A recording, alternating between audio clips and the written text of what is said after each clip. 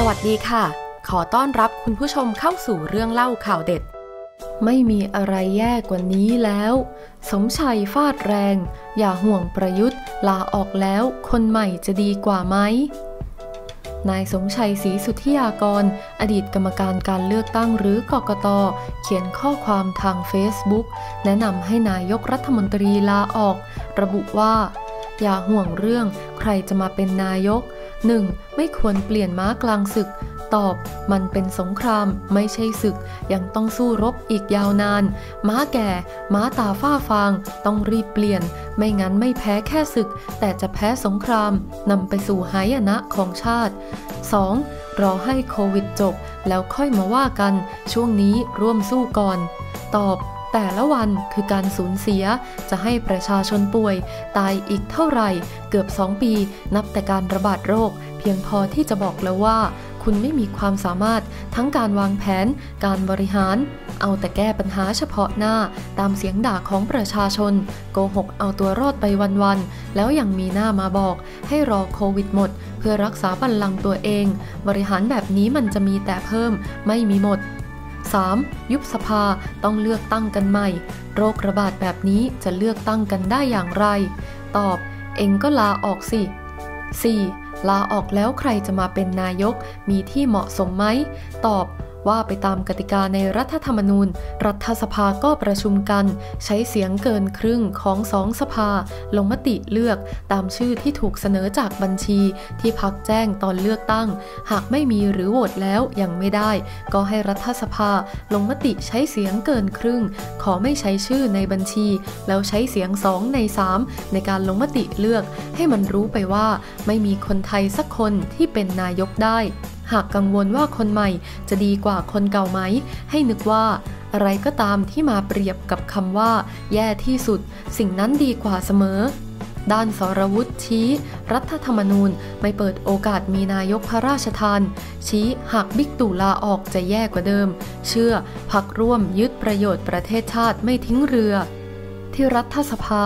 นายสรวุฒิเนื่องจำนง สสชนบุรี พักพลังประชารัฐ กล่าวถึงกระแสนายกรัฐมนตรีพระราชทานในโลกออนไลน์ ว่ารัฐธรรมนูญไม่ได้มีการเปิดโอกาสให้สามารถทำได้ ซึ่งขณะนี้นายกรัฐมนตรี แม้ว่าจะโดนกระแสหนักเพียงใด ก็ต้องอดทนทำหน้าที่ หากมีการวิพากษ์วิจารณ์ ในสิ่งใดที่ไม่ถูกต้อง ก็ต้องตอบโต้และให้ข้อมูล เพราะเป็นผู้นำที่ได้มาจากการเลือกตั้ง และคิดว่าเป็นการคาดหวังเกินไป ที่จะเอาบุคคลอื่นเข้ามาในตอนนี้ หากมีการลาออก ประเทศชาติก็จะเสียหายมากขึ้น เนื่องจากกลไกทุกอย่างจะต้องหยุด ไม่ว่าจะเป็นการเพิ่มงบประมาณ หรือการโยกย้ายเปลี่ยนแปลงงบประมาณ ก็ไม่สามารถทำได้ เมื่อถามว่ายังมั่นใจว่ารัฐบาลจะอยู่ครบเทอม ใช่หรือไม่ นายสรวุฒิกล่าวว่าไม่ควรจะรบกวนประชาชนให้ออกมาเลือกตั้งบ่อย เมื่อมีวาระอยู่ และขณะนี้เหลือเวลาอีกปีเศษ ในฐานะรัฐบาลก็จะต้องคิดแก้ไขปัญหาต่อไปส่วนฝ่ายค้านก็ทำหน้าที่ฝ่ายค้านต่อไป ผมคิดว่าพรรคร่วมรัฐบาลก็คิดว่าจะต้องรักษาประโยชน์ของประชาชนเป็นหลักที่เลือกตั้งมาให้อำนาจมา ไม่ใช่พอมีเรื่องหนึ่งที่ไม่สบายใจ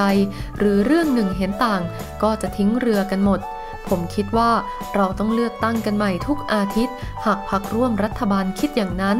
ผมคิดว่าพักร่วมรัฐบาลทำถูกแล้ว ที่ยึดปัญหาของประเทศเป็นหลัก และช่วยกันแก้ปัญหาในสถานการณ์นี้ นายสรุตกล่าวส่วนกระแสกดดันรัฐบาลในเรื่องของการแก้ปัญหาสถานการณ์โควิด จนรัฐบาลจะต้องลาออกหรือยุบสภานั้น นายสรวุฒิกล่าวว่า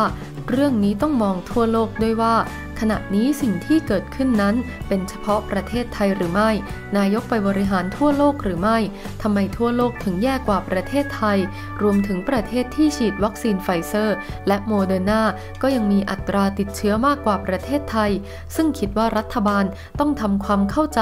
ในเรื่องของการสื่อสาร เรื่องการด้อยค่าวัคซีน และเรื่องที่มากระบวนการจัดหาวัคซีน ที่ประชาชนสงสัยอยู่ ต้องทำทุกเรื่องและต้องทำวันนี้ด้วยถ้าปล่อยไว้อย่างนี้แล้วคนเข้าใจผิด ผมก็คิดว่ารัฐบาลต้องพิจารณาตัวเองว่าต้องทำอย่างไร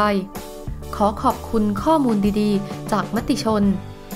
อย่าลืมกดติดตาม พร้อมทั้งกดรูปกระดิ่ง เพื่อแจ้งเตือนเรื่องใหม่ๆ จะได้ไม่พลาดรายการเรื่องเล่าข่าวเด็ด ขอบคุณที่รับชม แล้วเจอกันใหม่ค่ะ